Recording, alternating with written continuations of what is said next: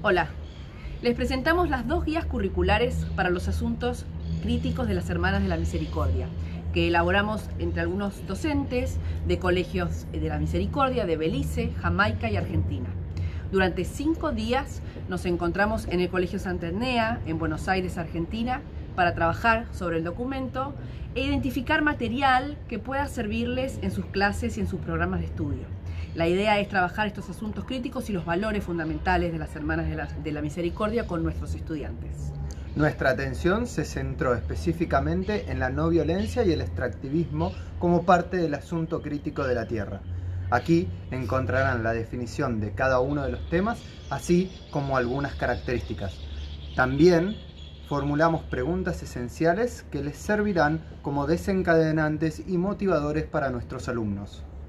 También hay una variedad de recursos que los profesores de diferentes asignaturas pueden aprovechar. Planes de lecciones, actividades de clase, recursos audiovisuales, lecturas sugeridas, películas de ficción y no ficción relacionadas con estos temas. Ha sido un verdadero placer y honor preparar este documento para ustedes y esperemos que les sea útil para infundir los asuntos críticos de la no violencia y el extractivismo en sus clases. Muchas gracias.